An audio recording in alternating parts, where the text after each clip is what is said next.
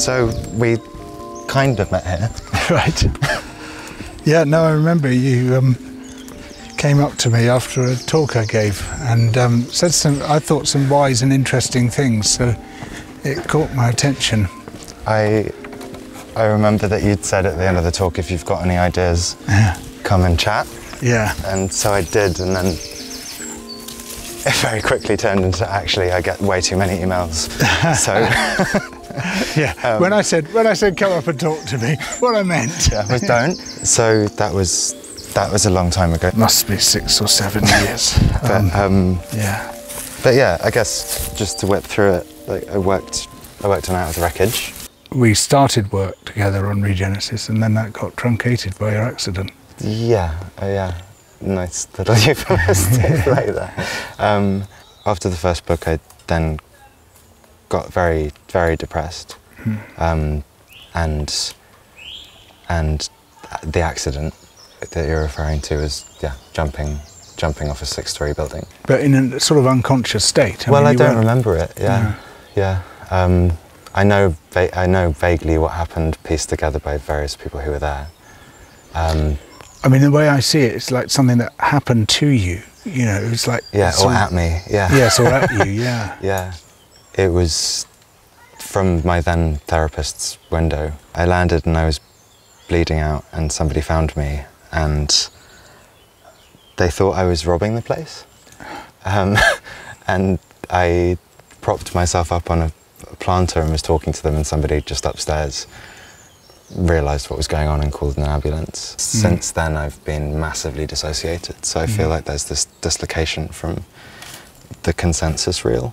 Dissociated from everything. Yeah, yeah. I've got this really strong depersonalization, derealization going on where I've just had to. At first, it was really terrifying, but I have to kind of surf it. C- can you explain it a bit more? Sure. Um, it's a bit like I'm reading lines that somebody else has written for me that, or I've written for me, but a version of me from somewhere else that I'm having to just perform in a way. Hmm. And there's a there's a there's a level of insulation between me and material physical reality. When I jumped and when I was in the ambulance, I was apparently ranting at them about climate change. and I don't remember it. But I've been a like climate activist of sorts since I was 12, 13. It's been a huge driver of the intensity and the focus of my various madnesses. I've been diagnosed with bipolar and a host of other things too. And it wasn't until I found other modalities and ways of understanding mental health as much more social, psychological, and ecological that I could let myself believe and feel that the dissociation is a survival mechanism Right. after my accident, I, uh, I was really keen to rush back into my work and mm. activism and research and new economic stuff. Mm. And a really good friend, and this is while I, my leg was in the cage, and I'd lost one leg at that point, and the mm. other one was trying to get fixed. He just said, if you want a project, just dig into why this happened. And it was around the time that eco anxiety was coming up as a topic there's a masking that happens when we use that term, and there's an obfuscation. The way that climate change affects our minds is so much more diverse and so much more heterogeneous and comes through so many different causal pathways that just calling it eco anxiety can be quite constraining and something that people don't relate to. What happens to people who are being hit by climate shocks? Um, you know, depression rates soar and suicide soars and psychotic visions. Western doctors often characterize them as non-specific psychological distress because they don't have a framework for a different cultural understanding of the mind. Yes, it's an interesting thing, isn't it? That you know, we we're, we're never in any doubt about how other kinds of disasters affect people's mental health. Mm. There's no doubt about how war affects mental health. Similarly, um, you know, earthquakes or any other natural disaster. But it's taken us so long to get to grips with the impact of the biggest disaster of all, which is the gathering collapse of Earth systems. Mm.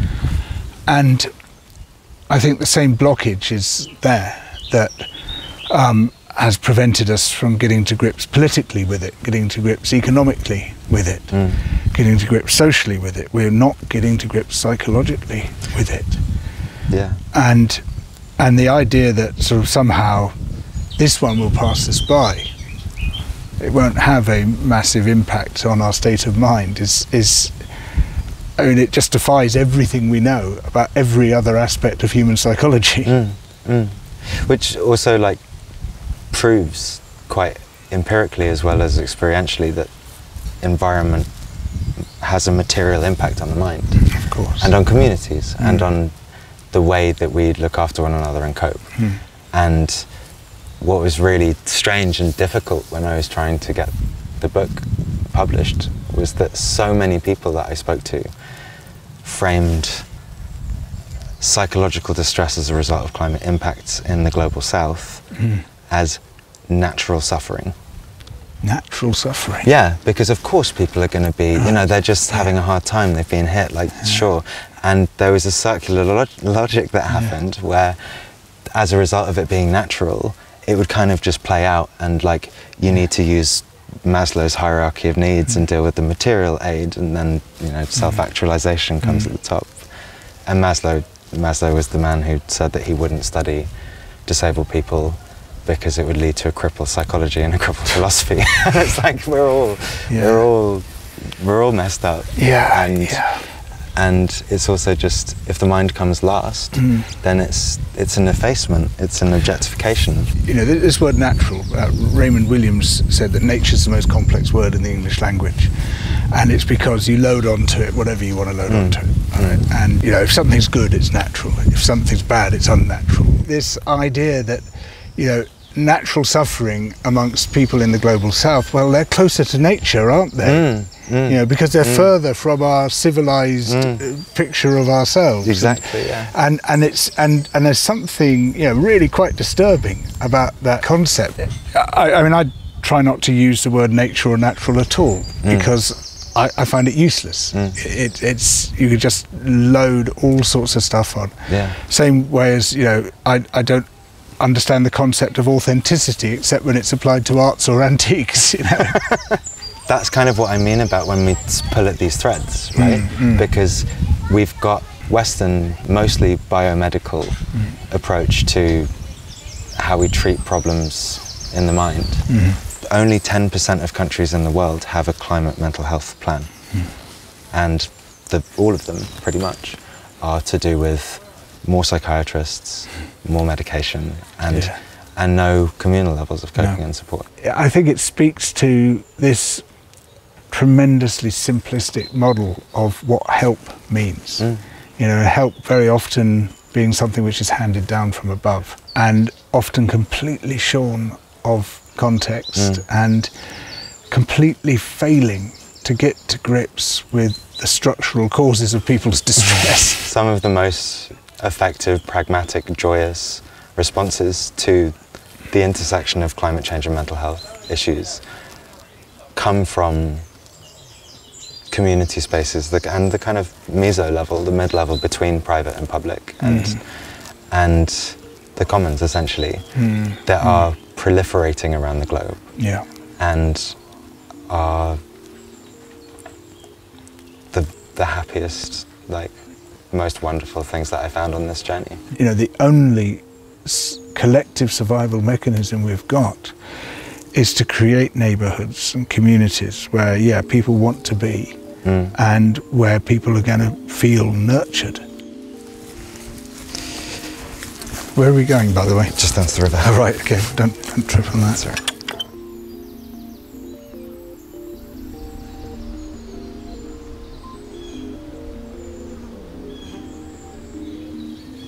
We think about evolution in terms of survival of the fittest, and that term wasn't a Darwinian term. What Darwin meant by it when he used it was best fit within an ecosystem. And all over the world, whether we're dealing with climate change at a distance and it's still really, really messing up our minds, or if it's something that's hitting us materially. Um, with these impacts and the warpings of consensus reality that come from it, as people who do want change, do you have thoughts on how to look after ourselves and each other within that space? I feel increasingly as I get older that it's different for everyone. Mm. You know, I mean, my remedy, which is getting in my sea kayak and going as far from the coast as I can, probably not going to be the universal remedy, but just any sort of immersion in nature Mm. and any encounters with wildlife Mm. have a great healing effect on me. But you know, it's just not going to be the same for everyone. Mm. Um, and and I think part of the art of living is finding out what it is for you. Mm. What is the special thing that allows you to let go, at least temporarily, of the distress. Mm. You have to get out of yourself. You have to leave all that behind. like being engaged with a with a group of people that you trust and can build new worlds with, however however those manifest. I feel like that can be deeply curative as well. Yeah. Because I've found nature and being around nature at times incredibly healing, and at other times a reminder of how destructive Mm. Civilization has been, and it's painful. you know, without that sense of being held by other people, you you're hit above all by the extreme loneliness of it. You know, it And species loneliness. Well, yes, Yeah. it can sometimes seem that you know you're amongst very few people who actually give a shit, and that that can be as devastating as any other aspect of it.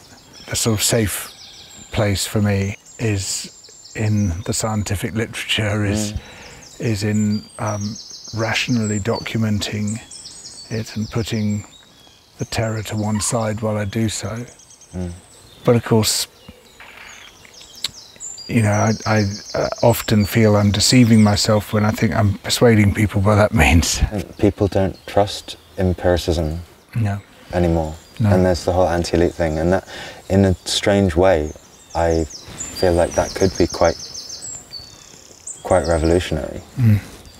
If we, no, if if it went in a certain direction, I think it's not at the moment. It's really destructive, but Well, it's a deliberate misdirection, isn't it? I mean, you know, it's like the revolt against elite power, and what Suella Braverman means when she Mm. talks about the elite is anyone with a degree. But also for so long, I mean, just to clarify what I mean, like I have lived proof of the existence of other realities.